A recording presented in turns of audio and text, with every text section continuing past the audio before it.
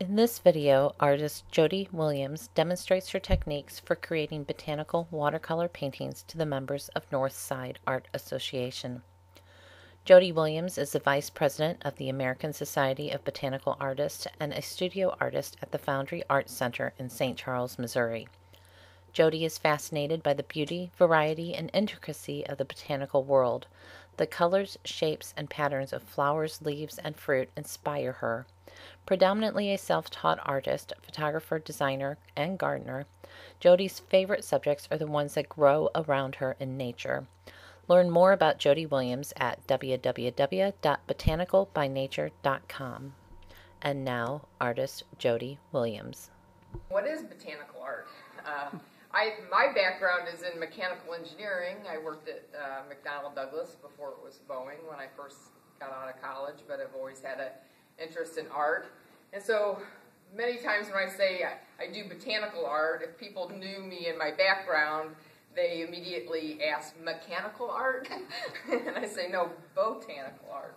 So uh, botanical art is um, distinguished from scientific illustration and still lifes and flower painting and uh, landscape painting. It, uh, although all of them may have flowers and plants as subject matter, uh, the definition that the ASBA follows in terms of uh, the art that we teach and support and exhibit consists of art that's um, scientifically and botanically accurate, so it's a real a realism, a realistic art form, and um, so the plant is the predominant uh, subject matter. If there's any other uh, uh, uh subordinate subject matter in the painting, it should relate in some way to the plant. For example, pollinators, butterflies, bees, other insects, or um, some aspect of the habitat, particularly if it's something that is um, uh, specific to that particular plant. And we try to um, do make whatever we portray identifiable, at least to the genus level and often to the species level. And when we exhibit our work, we identify uh, the plants with the scientific Latin names just as a, as a convention or a, a tradition. And the tradition of botanical art has quite a long history. I won't go into that tonight, but we actually we have a formal history of botanical art lecture that um, we offer to groups such as yours uh, that we're happy to to give, but I won't get into that tonight. Other than to say that it does have a long history and uh, started out as um, uh, not started, but for gained uh, uh, importance at the time when herbals, uh, plants were, were depicted in art as a means of identifying them uh, so that they could be uh, used for medicinal purposes. And then in the Victorian era, it was uh, very much uh, a wealthy, the wealthy women. That was a pastime, along with embroidery and other kind of fine crafts to be a, a botanical artist and you often find um, sketchbook, watercolor sketchbooks from that era. I, I tend to collect those if I see them on uh, on Amazon or eBay or in used bookstores or whatever. It's kind of an interesting uh, item to collect. So, um, but other than that, uh, you know, there's some conventions to botanical art. If you notice, looking at most of the samples I brought in, these are all originals um, that I've done. Uh, other than this notebook that has pen and ink on mylar, the rest of these are all watercolor paintings. And you'll notice that they have white backgrounds, uh, very little um, background, and that's just a tradition. They're considered plant portraits. And um, like I said earlier, um, uh, other than the plant material, only uh, pollinators or uh, things that are specific to their habitat would normally be shown. But it is um, distinguished from scientific uh, illustration in its intent. So the intent of it is art. It is intended to evoke emotion. It is intended to be aesthetically pleasing. And although some botanical artists choose to depict uh, scientific aspects of the plant, like identifying characteristics or the life cycle of the plant, or the reproductive parts of the plant, or the um, seasonality changes. Those are all strictly up to the artist. So it's the artist's decision how they portray the plant, how they make it aesthetically pleasing, what type of composition they choose, um, as opposed to scientific illustration where the intent is to um, illustrate, to convey some aspect of information, uh, usually um, in terms of defining species for the uh, uh, botanist. So in that case, the botanist is dictating or specifying, constraining the illustrator and, and giving the illustrator um, their needs in terms of what needs to be uh, depicted in, in the illustration. So we have uh, scientific illustrators in our organization. They do illustrations for botanists that serve a scientific purpose for publication, and they are also beautiful. So, um, you know, they strive for aesthetically pleasing compositions and, and are often, you know, as uh, enticing to, to look at as the non uh, scientific illustrations, but there is a different intent. And one of the things that I think is, um, you know, really illustrates that is when you start to look at a, a single a single plant or a single uh, even specimen and see the great variety in treatment that two different artists uh, might use. And so I'm going to just um, these what I what I brought along with me are a number of catalogs from exhibitions that the American Society of Botanical Artists curates. We curate uh, international juried exhibition uh, each September that's held in Manhattan and this is this year is the 17th annual exhibition. And so this has artwork from um, our members from all over the world. There's 40 pieces that are selected for this exhibition each year from a field of usually about 200, 200 entries. So if um, I really think that's kind of the, I'll get into demonstrating the painting techniques, but um, I think it's helpful ahead of time to have a little bit of a sense of the genre. Uh, I find that um, people don't have a great deal of familiarity with it. So if you want to flip through, you will notice some of the, the identifying characteristics of the. Here's a scientific illustration. Here's uh, one with with the with the uh, white or you know no background. But also, as you page through, you'll find that you know the artists do break the rules and they do um, uh, make their own artistic choices and um, sometimes do depict um, uh, more than just uh, a plant on a white on a white background. That catalogs from the Hunt Institute for Botanical Documentation at Carnegie Mellon University. They have the largest uh, collection of botanical art in the United States, really in North America. And every three years, they hold an international exhibition that includes only artists that you can only be in that exhibition one time in your life.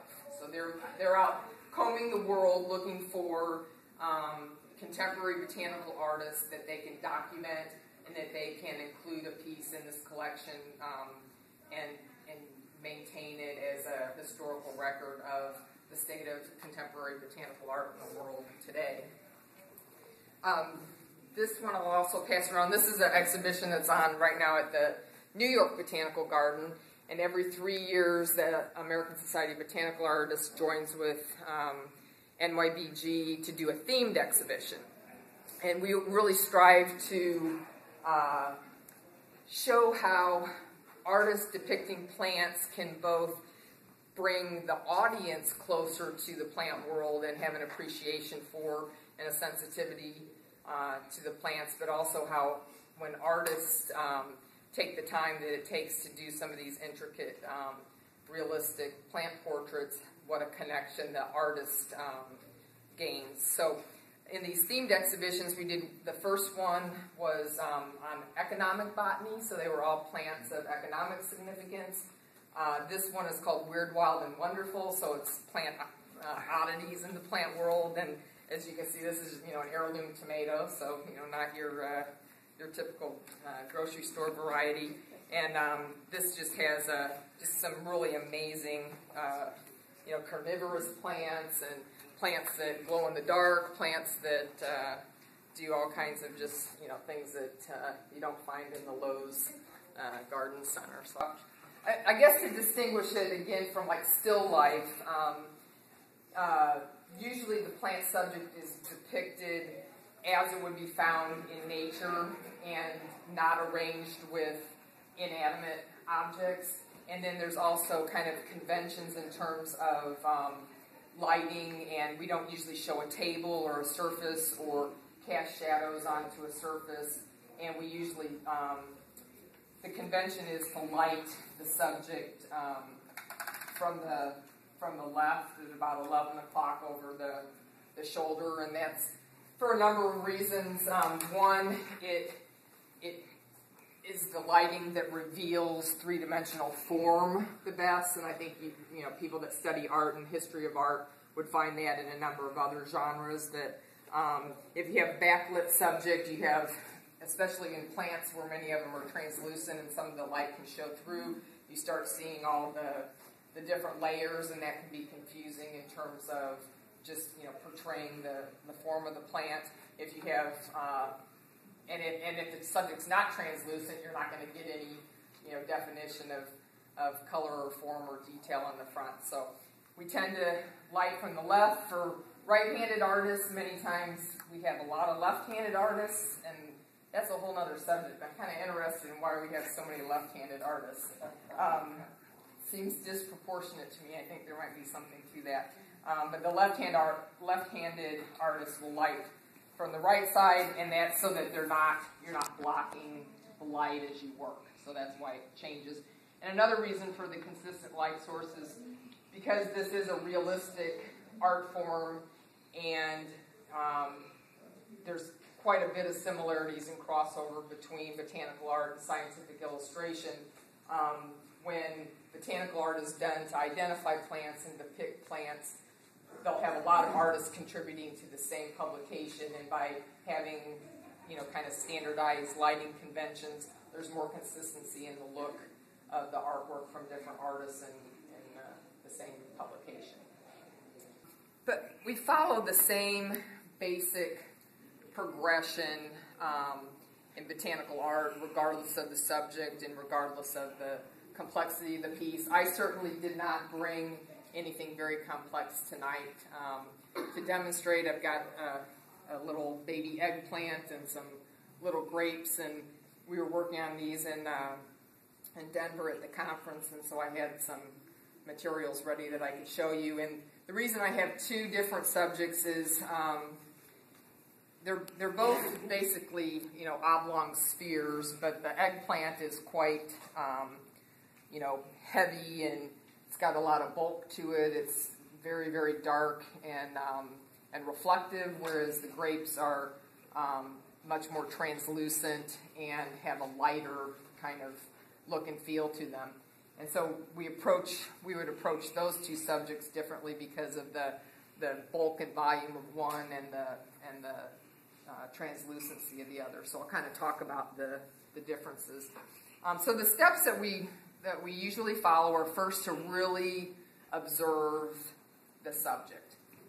And there are some artists that go as far as, you know, closing their eyes and feeling it, smelling it, uh, you know, really studying it from from all angles. Um, I probably don't go to as great of extent in terms of that as others do, but because it is a realistic art form, we do attempt to get um, you know, proportions uh, accurate.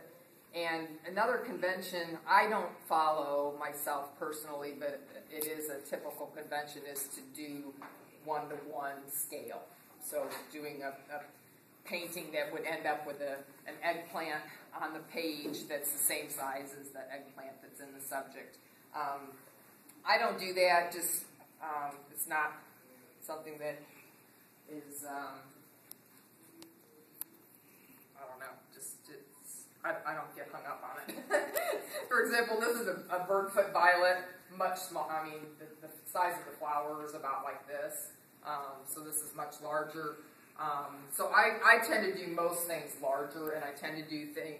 I, I tend to really, really focus on composition and a kind of a more graphic, um, stylized, contemporary composition, whereas the very traditional botanical art would show the entire plant.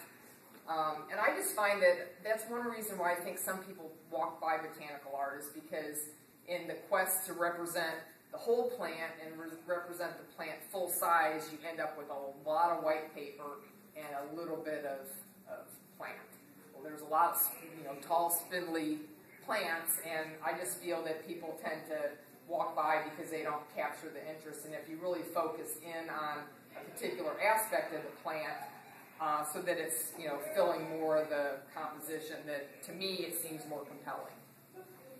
So um, these are all part of a series. Um, again, this is another one. These are uh, these are bluets. They're about this big. so really tiny, and, and I get excited about you know things that you know my my husband or my son would walk through the woods and just trample over or walk past, or the dog would run by. Um, if I notice it and can capture the beauty of it in something like this, then it helps to draw attention to, to things that people you know might not otherwise notice. There's a lot of flowers out in the out in the woods and around the ponds that are almost microscopic, but they're beautiful if you get down there and look at them. Absolutely, like the, the bluets really have this, you know, really, um, uh, you know, bright pink centers with the green, and um, you know, you wouldn't notice it since the, flower itself is only about this big, and it's predominantly a really bright, beautiful blue. You might notice the blue, especially because they grow in these clusters, but when you really take a close uh, close look at it, you start to see um, more and more detail. And that's really, um, I think, what when people start to do botanical art, at first they might they might feel that they might think that it's too detailed or it takes too much discipline, and they just they want results faster or they want to work faster. But it really becomes a very contemplative, relaxing kind of. Uh, um, uh, you know, you're able to go into that right side of your brain, and, and once you, you know, really focus on a plant long enough to do uh, a piece of artwork, particularly to the level of detail that you see in those catalogs, people really, you know, they love that plant by the time they're they're done with it. So um, let's see. So the first step is observation, and um, and then the second step is to do a, a basic contour um, or line drawing. Um, so I'll just kind of hold this up. This is a little bit darker. But I just, I take any kind of um, drawing paper. I'm not terribly particular. This happens to be what's been on my table lately. And I'll just sit down. I, may, I do make sure that I'm, you know, aligned with the subject and I have good posture that I'm going to keep the whole time so that doesn't change because if I, you know, if I'm doing this and I'm doing that and I'm doing this, then of course the, the perspective and the angle is going to change. And so I do um, make an attempt to, to keep that stable. And, you know, just a very, very simple um, line drawing and in pencil. And I'll use whatever's comfortable, like just a, you know, probably a 2H or a H pencil, something fairly soft that gives me a nice feel as I'm drawing. And um, sometimes I get a little sketchy, but for the most part, I'm fairly intent on just, you know, putting pencil to paper, making a, a confident uh, line and attempting to um, depict the subject. For something like an eggplant, it's fairly easy. I will, um, I will often start with a pair of dividers, and I'll just um, do a very basic, you know, top to bottom or the, the main portion of it and the, um, and the width in order to just kind of give me a bounding box to start with. Um, and, uh, and if it's a more complicated subject, I'll even um, use a picture plane so that I'm not, um, you know, tilting, you know, doing measurements like this, which would have absolutely no uh, use because what I'm trying to capture here is is the perspective. So sometimes I will mount actually mount a picture plane so I know that when I'm holding my d- dividers up, I'm always holding them at the same um, at the same uh, distance from the subject. If if the subject is um, very very sm- this this is about the angle that I like to have the subject, so I'm looking slightly down. Um, I don't like to have it straight up, and I certainly wouldn't have it above eye level. But so basically, if I drew a line from you know from my nose to the to the uh, to the subject, that picture plane would be tilted slightly so that it was perpend, you know perpendicular to that uh, to that line of sight. Okay. And I don't I don't trace or draw the subject on here. I just use that so that when I hold the the dividers and make some you know basic uh, measurements that I'm not you know I, that I'm not tilting it or I'm not holding it a different distance. So it's kind of like the pencil with your with your thumb for for plein air uh, painters. Same concept. Okay. So after I do a uh, after I do a simple line drawing, I'll then take um, just regular uh, tracing paper, nothing fancy. Again, this is just happens to have to be what I have at the moment, but I, I'll use any kind of tracing paper, and I'll um, make a tracing of uh, of that line drawing, and then I'll use the tracing to. Um, I'll often do a uh, a tonal uh, tonal study, and often I'll do that tonal study on the tracing paper, and sometimes I'll even do it um, without doing the outline on the tracing paper. I'll just set it over the outline and then do the tonal study so that I don't have any any edges. And I don't. I, I use the tonal study to some extent for reference, but it's more just once again internalizing the observation of the subject. So if I can, if I can, uh, you know, spend the time to really observe the subject and, and create that tonal study, then when I am, am, am painting, I've already kind of internalized it, the form and the shadows and the reflected light. When you're doing a tonal study like that, and you've got that on a, a white handkerchief, how do you handle the reflection?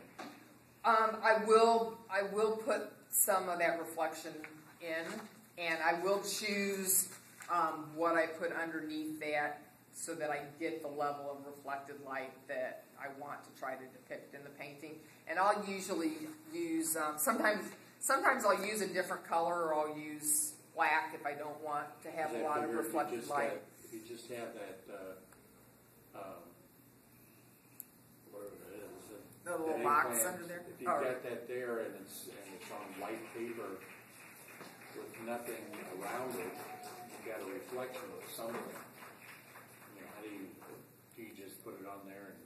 Yeah, and, and I guess that's one of the peculiarities of this genre is that we use that as a means of um, of uh, showing form, even though we're not showing what it is that's you know like creating that reflected light, and that may feel funny to a lot of you that are used to doing still lifes, where you know you can see what it is that's creating that reflected light, and we'll tend to do things that um, like for we do a lot of fruits and vegetables out of the grocery store because they're you know they're easy to get. They sit still. They don't you know wilt. They don't desiccate. You know it's just it's especially for beginning assignments. It takes the frustration you know out of tulips that are opening minute by minute and are never the same flower. You know each time you sit down to paint them, but um, uh, you know so we'll we'll just make those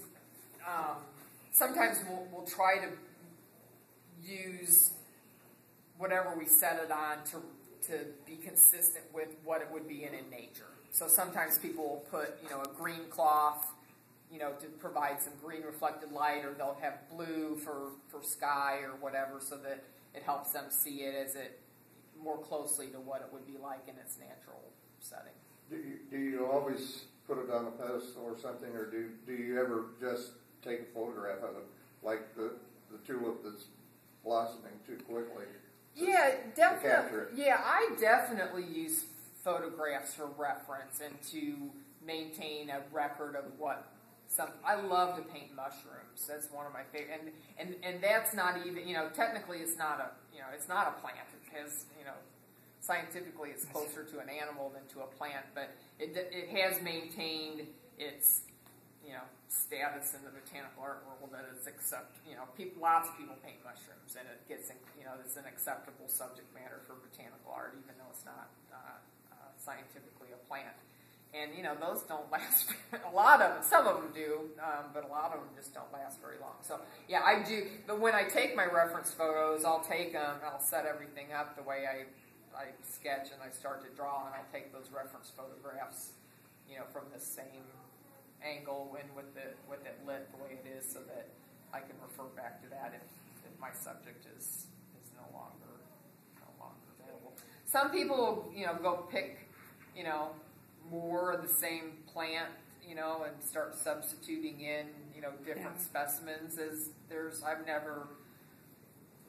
Some of the paintings that are in those catalogs that I pass around, I mean, artists spend several months on one painting to the, to the level of detail that's in there. I don't currently have the patience to do that, and I don't I don't have the skill yet to do that. I'd like to get to that point, but you know, I'm a I'm a I, I finish things in a week at the most. You know, a day at the least, and a week at the most, and um, so anyway. But another thing is, I will use um, if if I wasn't um, you know if, if you all weren't trying to see what I was doing. I would normally, you know, put a, a, plain background, either white or black, usually behind the subject. Again, just to, it does add some additional, you know, reflections, but most of them are on, you know, uh, uh, but it mostly just relieves me of the distraction of what's what's behind the subject. And then um, the other thing is, I tend I tend to to and, and I wouldn't have all these. I mean, right now I've got you know reflections from every single one of these um, fluorescent lights. So when I'm in my studio, I'm much more controlled, and I actually have a different plug-in light that I would use in my studio. Um, but these are daylight um, lights, and um, uh, you know, it just adds to that consistency. But most botanical artists kind of just regardless of the lighting, they they follow. I don't know that I agree with this, but it's very very prominent that you know any spherical. this before I try. Any spherical subject, you know, they're they're going to divide it like this, put a highlight here, and then you know, kind of do a, a, a shadow in here, reflected light in here. So this is going to be you know the darkest part of their subject this is going to be a little lighter, this is going to be a little lighter, and this is going to be a highlight. And they'll do that even if that's not what they're seeing. you know, it's just it's just a convention in that art form, and it you know they they expect to see grapes that look like this and apples that look like this, and you know anything that's shiny with a highlight. This is kind of the the formula. I I tend to like to look at my subject. You know, I'd rather you know look at it and go based on on what I what I'm observing. Um, so after I get after I do the tonal study and I and I have the outline and I trace it on tracing paper and then I transfer to my watercolor paper and I use any one of a number of different methods. Um, I paint on one of two different papers, um, either 140 pound hot press arches, um, usually from a block, um, or 300 pound Fabriano Artistico. And um, the, uh, I don't know if, how familiar, this, this would be the 140 pound arches hot press. And so, you know, if, if you all are watercolor painters, I mean, a lot of people that, if you're not doing botanical art, um, I, I was most familiar with painting on cold press or even rough um, paper. So hot press paper was a new thing to me when I started doing botanical art. You know, it is very smooth, but then it allows um, you to get the fine detail and to have the control, and it's not adding textures where there's not um, texture in the plants. Um, and we tend to paint very dry compared to traditional watercolor. So We don't um, soak the paper. We don't stretch the paper. Um, we don't. Um, some people use a you know a masonite drawing board, and they might tilt uh, somewhat to do a flat wash if they have a large a large area. I tend to work almost flat most of the time, and um, and then if I use the this is a the 300 pound um, art, uh, Fabriano Artistico. It's got some exercises on the back from a, a class.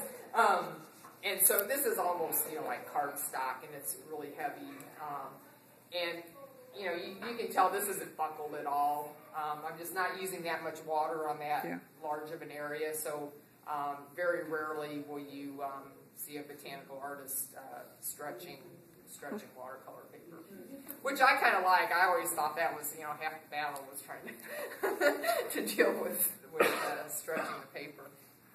So um, once, um, so once I had that um, tracing, then what I'll transfer to the watercolor paper either if I'm using the 140 pound, which is thinner, um, I'll use a, I can use a light box um, or uh, a window. I have a big patio window. I do a lot of uh, uh, uh, transferring by just putting my uh, putting my line drawing behind my watercolor paper on the patio window and, and trace the line drawing.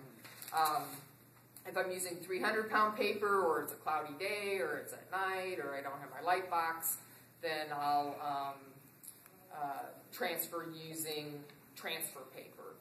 And I don't use commercial carbon paper. I just find that it leaves too dark of a of a line, and or else I just have too heavy of a of, of a pressure, and it's difficult for me to lift the line up. And so I use this little guy here, which I've had for many many years, and um, it's just a piece of the same tracing paper. Took a, a soft pencil, a B or a, probably a B pencil, and just uh, covered this sheet in all different directions. Took a Kleenex and, and burnished it. You can even put a little bit of alcohol on a cotton cotton swab and burnish it, and that'll really kind of keep the, the dust um, from coming off of it. And then you can use there's they, they have kind of contests when I go to this conference, and everybody who has the oldest piece of transfer, transfer paper because they really keep them for their whole lives and they continue to work. And um, another thing is, it's you know this is as big as I want. I don't want a full sheet because I don't want it to transfer just from resting my hand or um, inadvertently smudging if I'm shifting around. So instead, I'll shift this around underneath um, underneath uh, my drawing. If I don't use this, um, I might also just uh, um, flip flip my line drawing over, trace on the back again with like a soft uh, B or HB pencil, and then put it down on the watercolor paper. And when I go to actually transfer the um, transfer the image on, then I'll use a harder pencil, probably like a 4H. Um, really sharp but with a light touch and then that gives me a, a fine line. I'm still going to have the the soft lead on the back or on the transfer paper that's going to come off onto the um, onto the watercolor paper, but at least it'll be a very fine line that I can achieve with the harder pencil on the top surface. Finish something. Do you keep a hair dryer by you to to dry it as you go, or? No, I usually keep multiple things going at the same time. So like, th- I mean, this was a this was a class exercise, but that's why there's four of them. So you know, we would do we would practice on one, and the next, and the next, and the next, and by the time we got done with that, this one was probably, you know, okay to go back to. And again, we're not using tons and tons of water, and right. I was doing this in Denver, so it was really almost like really hard to get enough water. You know, it was just evaporated. So I'm, you know, having to adjust to being back in St. Louis, although it's not too bad right now. So, um, so I'll take a like a 4H, and I'll go over my tracing. And one thing that was, if anybody's interested in graphite drawing, um, particularly of natural history subjects, whether it's animals or plants. There's an artist, one of our members. Her name is Katie Lee, and she she teaches at the New York Botanical Garden. And she has a phenomenal book out called um, uh, Graphite. I think it's just called Graphite Drawing, and it's like a spiral bound, and it has exercises in it, and it really goes through some techniques that I had never ever um, been exposed to before. And one of them was this idea of drawing drawing toward me. You know, like I had always, I think it's like the Watson Guptill, you know, those old, those old books that have been around forever. Um, you know, pen and ink drawing and, and graphite drawing, and there's a watercolor book too um, by Guptill, not just the publisher, but it was the he was the author. And they're always talking about like you're when you write, if you're right-handed and you and you're American or you know English and you write from left to right, you're used to this motion from left to right. And so I always thought I should be drawing from left to right. And he, that's what that said in that book. And she was teaching the opposite. And I took a class and it was extremely awkward. Whenever I take a class, I try to do everything during the class the way the instructor teaches it, even if it's completely opposite to what I do, just because I feel like why else would I come and you know take a class with somebody unless I'm willing to to try what they're what they're sharing. And so, you know, she she's always saying um, to draw towards you because then you can see. You know, if I'm right-handed and I'm drawing this way, I'm blocking, you know, the direction that I'm heading. And if I'm coming this way, then I'm seeing what I'm about to, to draw. And the other thing that I had never thought of was instead of watching my pencil point as I'm tracing that line, I look ahead, a half inch, an inch, and so I'm looking at where I'm where I'm aiming, not where I already am. So it's kind of like driving looking in the rearview mirror instead of out the windshield. So those are a couple things that you know were new to me that have really been helpful. And when I when I do this um, transferring, so then when I get to here, I can't. It's very awkward to keep going this way. So then I just turn the paper and go the other way. And so we do a lot of turning the paper so that we're, and that's another reason why it's kind of handy not to have this on a big drawing board and not working on a on an incline is because we do a lot of this. And another thing that was completely counterintuitive that I've just started doing um, after a class is having my water and my paints and my brushes and my little wipe off thing and my little test strip on the left. I'm right handed, and I always had it all over here. It just seemed like, you know, you just, I don't know, I just assumed I should have it all over here. And then this instructor, everybody thought she was left-handed until she sat down and all her stuff was over here. And in fact, she would, she wouldn't allow any of this. You know, it would, this would all be clear. And then that allows her when she's painting with her right hand to not be, you know, dodging, dodging her stuff. And it really, the motion is more fluid with a brush going here, here, here, here than going here and back. You know, even if these things were closer. And I never thought of that. I mean, so I've just made that change very, very recently and found that I really, I really like the idea of not having a cluttered space and having everything on the left. I don't, is that unusual to people? Does that sound unusual? Makes sense. Pardon? That sounds smart. Yeah, that's what I thought. You know, but it never little things like that just never dawn on you. The other thing is, um, you know, this is the palette that I. Yeah, I'll talk a little bit about um, the materials that I use. I go to these classes and. You know, every time you take a class, they give you the list of materials, and it's really long and it's really expensive, and you don't have any of it.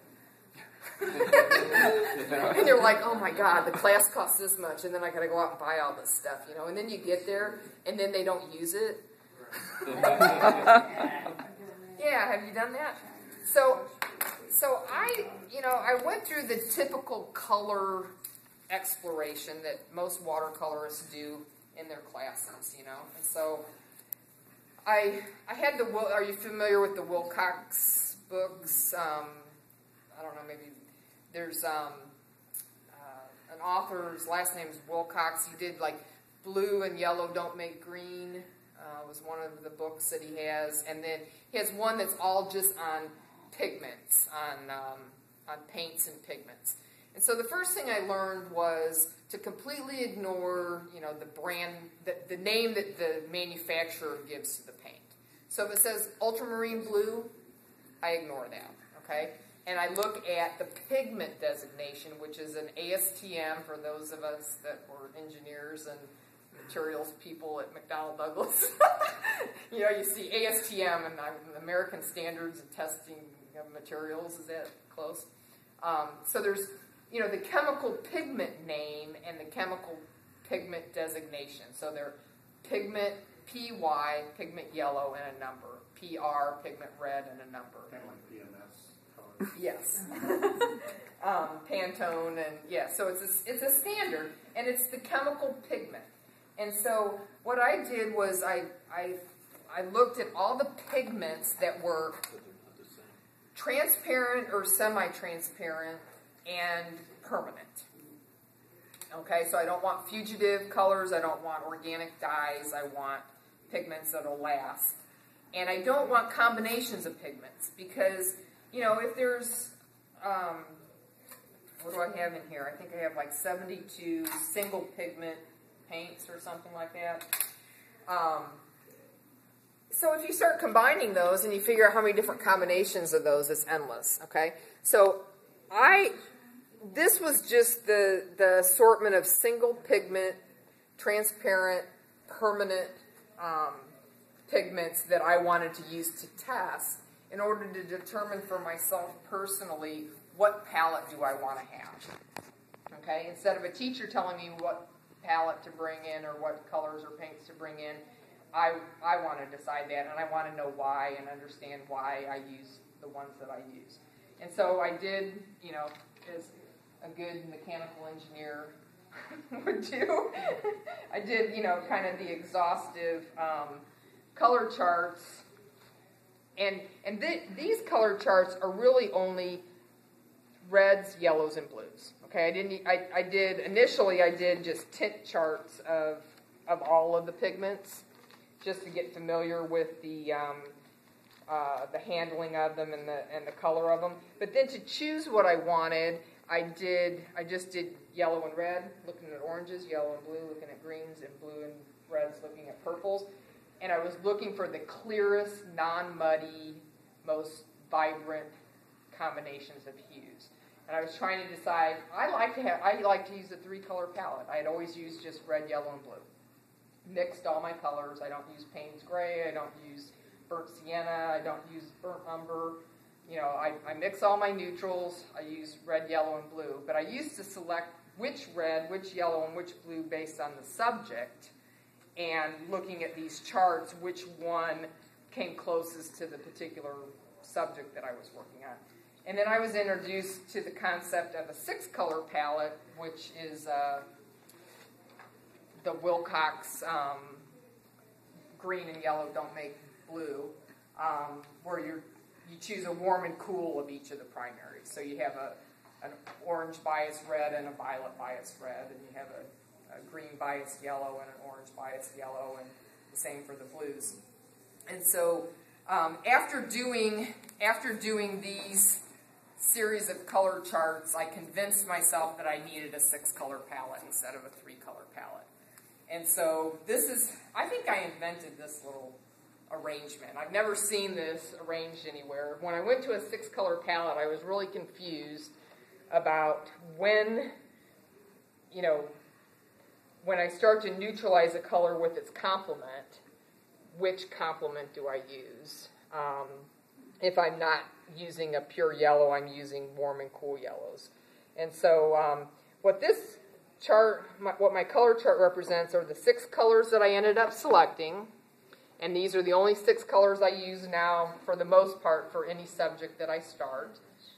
And um, the outside represents like pure hues. So this is um, has anybody heard of like color systems like RGB and um, uh, CMYK for printing, and RGB is like red, yellow, uh, red, blue, green um, in the computer. And HSL sta- stands for hue, saturation, and lightness. And and I find hue, saturation, and lightness much more like intuitive to me, at least. And so the hue is just where on the on the color wheel is it? The uh, red, yellow, you know, red, orange, yellow, green, blue, violet. So those are the hues. And I have my pure hues out here. And then, um, and then the, uh, uh, so what I do is I take the, um, you know, the, the violet bias red and the violet bias blue, and when I mix those, I get the purest, the purest, most vibrant, glowing colors. And then the same thing when I use the, the green bias blue and the green bias yellow, I get the purest, the purest greens. And so, um, and then I can, I can start, when I start using ones that don't match, then I start getting these kind of duller colors as I get, get closer into the center because I'm including more and more of the complementary colors. And um, so that's kind of how I uh, settled on the palette that I have. So, um, so this is what I so so you know although I this is what I experimented with and explored. This is what I use. Okay, and um, and these are um, these are empty half pans that um, I buy by the bagful um, from this place called Kremer Pigments in Manhattan, and they're on the internet, and you can buy a bag of 25 for $3 or something. And, um, and then you can buy these, you know, this is a whole, you know, watercolor with space for, um, you know, mixing and, and palette, as is this one. But then, you know, I have friends that, you know, they go to Walgreens and they get the, uh, the pill boxes, you know, with the Monday, Tuesday, Wednesday, Thursday, Friday, and use those, or they get Sucrets boxes and put these in. But and, and so this is all tube paint. So rather than you know spending the first half an hour of every painting session squirting tube, you know, paint out on my palette, or um, I just squeeze these into into into here and leave this at home. And what brand do you use? Um, that was part of when I when I tested them and selected. I ended up with a kind of a mix. Oh, okay. So I have, um, you know, predominantly Winsor Newton, but I also have. Um, let's see, I'll tell you the. Um, so I have I have a Da Vinci Hansa Yellow Light, which is PY3. I have a Winsor Newton is Yellow Deep, Winsor Yellow Deep, which is PY65. Uh, Winsor Newton Scarlet Lake, um, which is a PR 188, and Winsor Newton Permanent Rose, um, which is a qu- quinacridone, which is like a new pigments that are really popular, and then uh, Da Vinci Ultramarine Blue and Da Vinci Phthalo Blue. So it is a it's a mix of brands just based on what what seemed to make the, the most vibrant uh, color combinations. So I um I uh, have my tracing transferred to my uh, watercolor paper, and then I want the. It's pretty rough when I get done with uh, that first tracing. So then I'll take this off and still using the number four fairly hard, sharp pencil, I'll go back over that line just one time, very, very lightly, and I try to just nail the nail the line the very first time. Drawing toward me.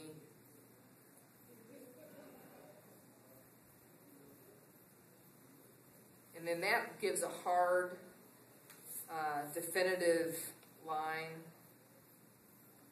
And I only do the edges.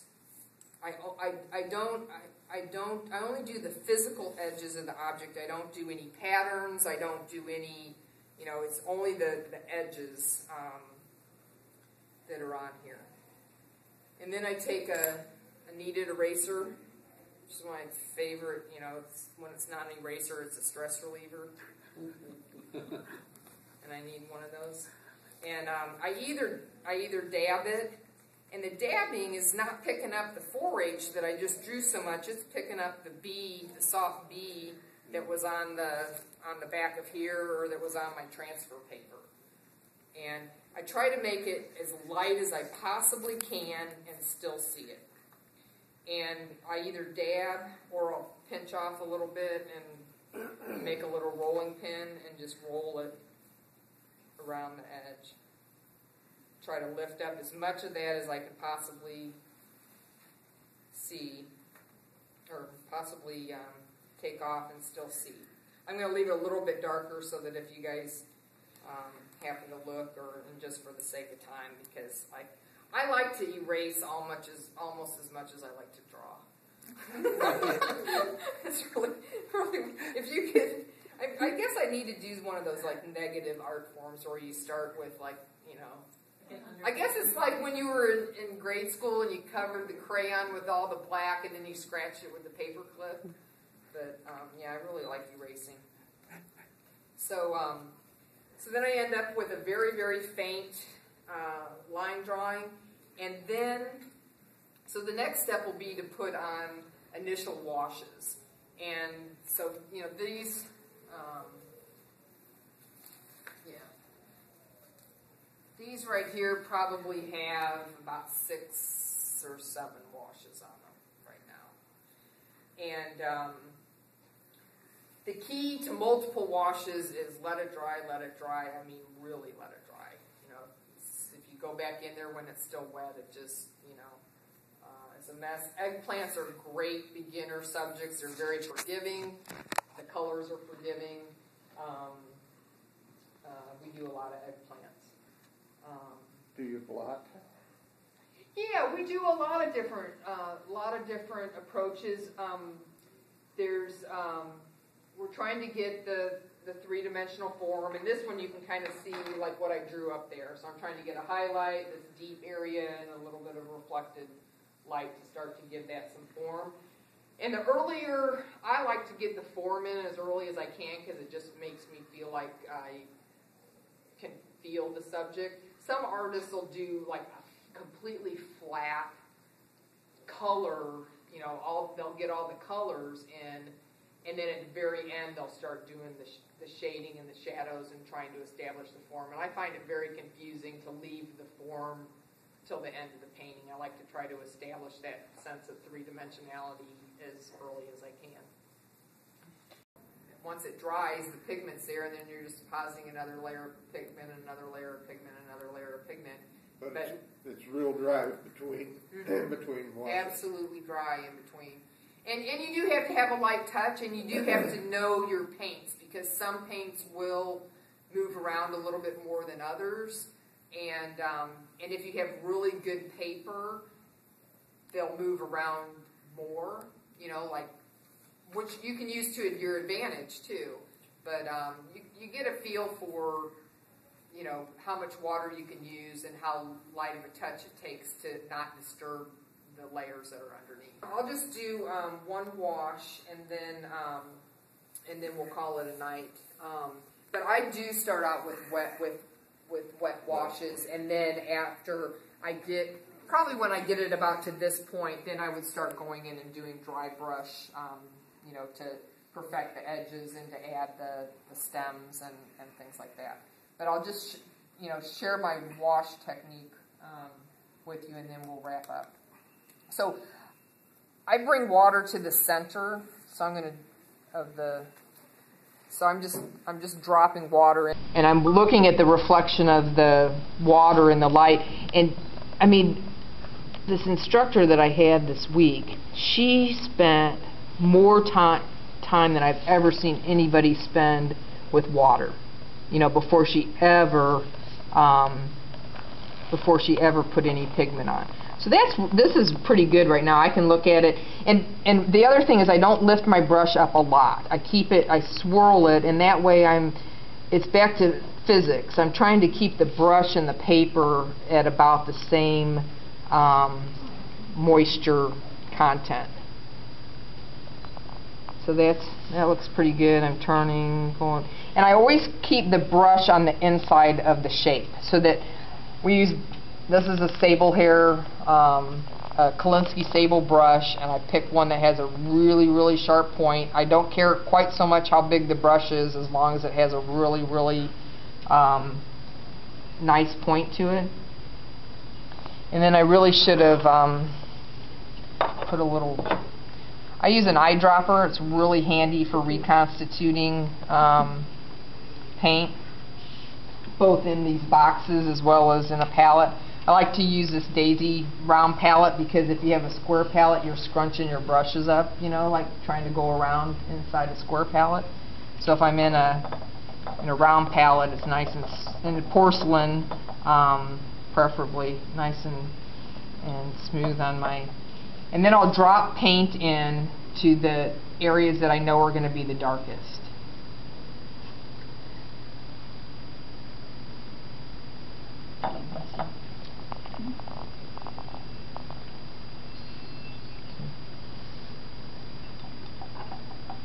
I shouldn't have put quite so much water in here. And I usually would test over here, you know, and see if I'm pleased with the